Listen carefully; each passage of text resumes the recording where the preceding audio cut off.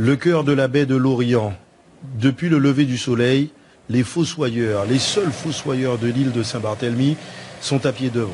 Seulement voilà, il s'agit cette fois de creuser le trou de la tombe de Johnny Hallyday.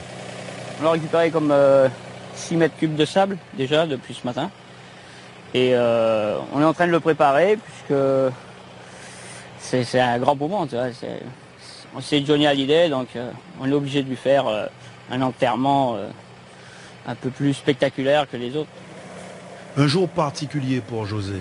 À 32 ans, cela fait déjà 4 ans qu'il exerce ce métier, mais aujourd'hui, l'émotion est grande, car José est fan de Johnny Hallyday.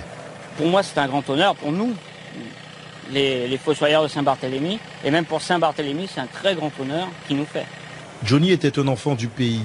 Il y a 4 mois, au mois d'août, il était ici. Et aujourd'hui, les Saint-Barth se souviennent. Chacun vient immortaliser l'instant, un peu comme s'il ne fallait rien oublier. On le voyait parfois sur la plage, euh, de partout. C'est bien. C'était simple.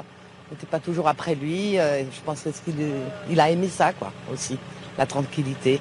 Puis là, il va reposer euh, en paix, au chaud, avec notre chaleur, notre soleil.